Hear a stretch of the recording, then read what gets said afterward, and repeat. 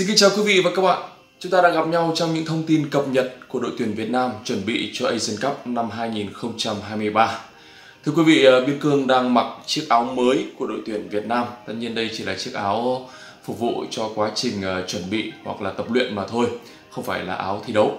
À, và hôm nay thì trên các nền tảng mạng xã hội cũng xuất hiện một tấm hình với rất là nhiều những cầu thủ ưu tú của bóng đá Việt Nam như là Hoàng Đức, Quế Ngọc Hải, Duy Mạnh, Tiến Linh và Tuấn Anh. Các anh chàng ấy mặc những chiếc áo màu hồng.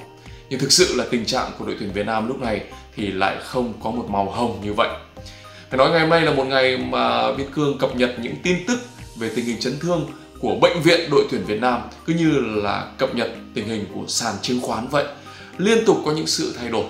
Ban đầu đó là thông tin về việc Hoàng Đức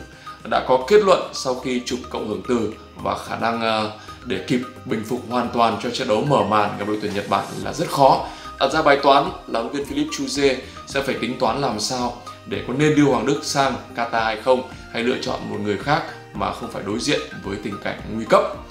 Nhưng rồi thì ờ, Hoàng Đức lại không phải là người phải nói lời chia tay với đội tuyển Việt Nam, mà người phải nói lời chia tay với đội tuyển Việt Nam là hai cầu thủ rất quan trọng trong những tính toán của huấn viên Philip Chuze vào lúc này. Một người ở hệ thống phòng ngự và người kia trên hàng tấn công. Người hệ thống phòng ngự là Quế Ngọc Hải. Huấn luyện viên ờ, Philip Chuze đã gặp gỡ riêng Quế Ngọc Hải và thậm chí còn đưa ra thông điệp là sẵn sàng chờ Ngọc Hải cho tới những phút cuối cùng. Nhưng ờ, kết luận ngày hôm nay là Quế Ngọc Hải sẽ trở về điều trị tại câu lạc bộ và hẹn gặp lại Quế Ngọc Hải trong đợt tập trung tháng 3 cho những trận đấu vòng loại thứ hai World Cup.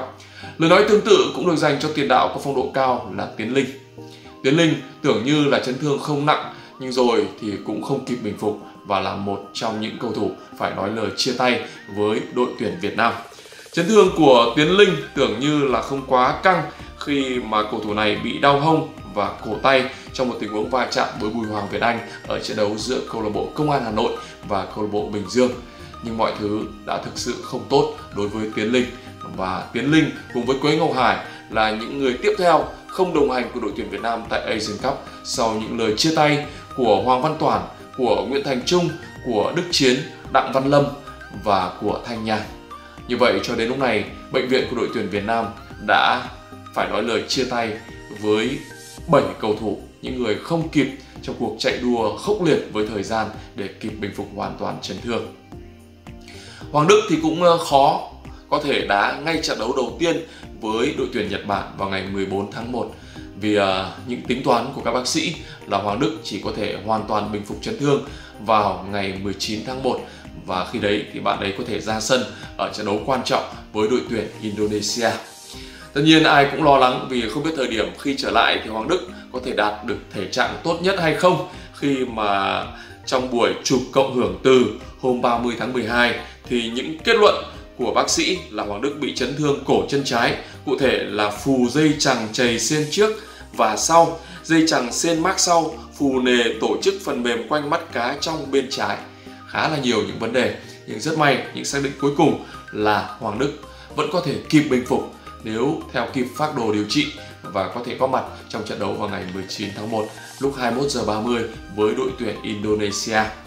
Ở khi đấy thì uh, chúng ta chờ đợi là Hoàng Đức có thể trở lại và cũng mong là Hoàng Đức có thể sẽ đạt thể trạng tốt nhất, cũng như là Hoàng Đức sẽ thể hiện được cái duyên của mình với những bàn thắng ghi vào các đội tuyển Indonesia. Chúng ta không thể nào quên, Hoàng Đức đã từng ghi một bàn rất là đẹp vào lưới của đội tuyển U22 Indonesia tại SEA Games năm 2019. Một cú sút xa giúp chúng ta có chiến thắng với tỷ số 2-1. Sau đó, Hoàng Đức cũng đã chơi rất hay trong trận chung kết với đội tuyển Indonesia.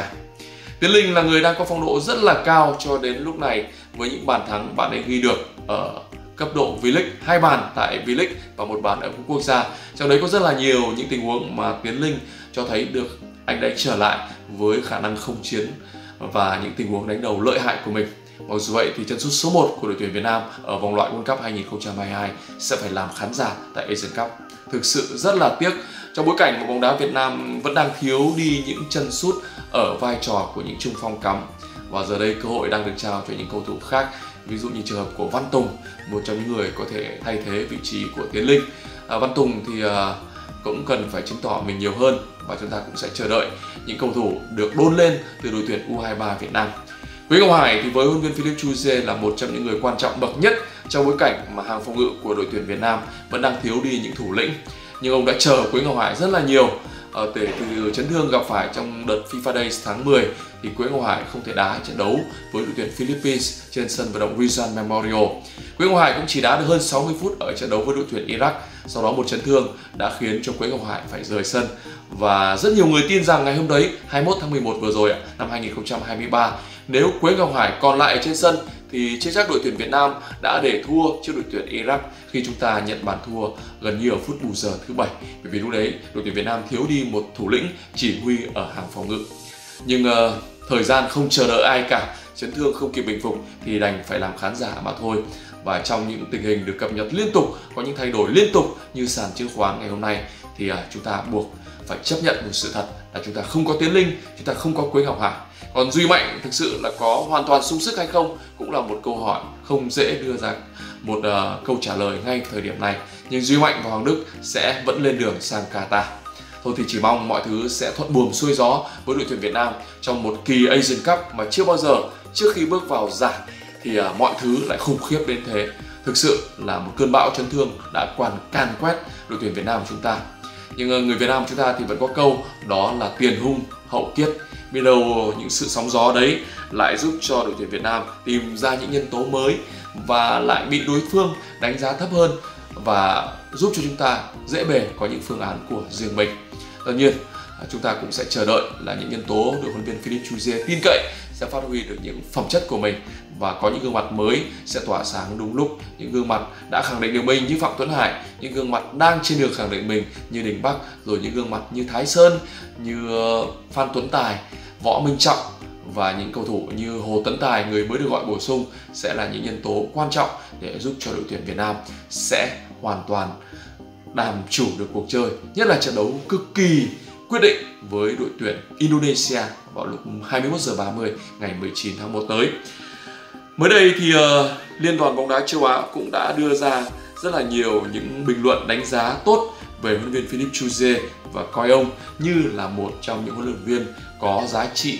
về mặt đẳng cấp hàng đầu tại đấu trường này vì ông đã từng giúp cho đội tuyển Nhật Bản vô địch năm 2000. Nhưng chưa bao giờ có lẽ trong sự chuẩn bị cho một giải đấu với nhiều đội tuyển khác nhau, ông Chuze lại phải đối diện với một thử thách như lúc này. Những áp lực đó cũng đẩy ông Chuze vào hoàn cảnh phải thay đổi kế hoạch. Cụ thể là trong buổi tập ngày 2 tháng 1 thì ông Chuze đã tính toán và đồng ý với VFF là sẽ để cho truyền thông tác nghiệp trong 20 phút đầu tiên. Thậm chí ông còn sẵn sàng cử một cầu thủ trả lời phỏng vấn. Nhưng tất cả giờ đây sẽ được khép kín. Tất cả những buổi tập sẽ đóng cửa hoàn toàn với giới truyền thông và ông Chuzier sẽ chỉ có một buổi gặp gỡ báo chí vào ngày mùng 4 tháng 1, tức là thời điểm trước khi đội tuyển Việt Nam lên đường sang Asian Cup. Khi đấy có thể ông sẽ trả lời rất nhiều câu hỏi và ông cũng sẽ nói lên những tâm tư, sự lắng lo của bản thân về tình hình của đội tuyển Việt Nam hiện tại. Đội tuyển Việt Nam sẽ lên đường vào ngày 5 tháng 1 đá trận giao hữu với đội tuyển Kyrgyzstan vào ngày 9 tháng 1. Sau đó bắt đầu hành trình của Asian Cup với cuộc so tài với đội tuyển Nhật Bản. Đội vốn có 20 trên 26 cầu thủ là những người đang chơi bóng tại trời Âu, trong đó có những cả những uh, Mitoma, những Endo, những Moriyasu, uh, rất là nhiều những ngôi sao thực sự là rất là tỏa sáng ờ, đang chơi bóng tại châu Âu và chúng ta sẽ đá trận đấu quyết định Bình Cường vẫn cho rằng đó là trận đấu quyết định với Indonesia đội bóng có trận giao hữu với Libya ngày hôm nay, sau đó thêm một trận giao hữu nữa ngày 5 tháng 1 rồi sẽ có thêm một trận giao hữu với đội tuyển Iran vào ngày à, mùng 9 tháng 1 rồi à, bước vào chiến dịch của họ gặp Iraq. Chúng ta gặp Indonesia ngày 19 tháng 1 và trận đấu cuối cùng sẽ là gặp đội tuyển Iraq vào 20 18 giờ 30 ngày 24 tháng 1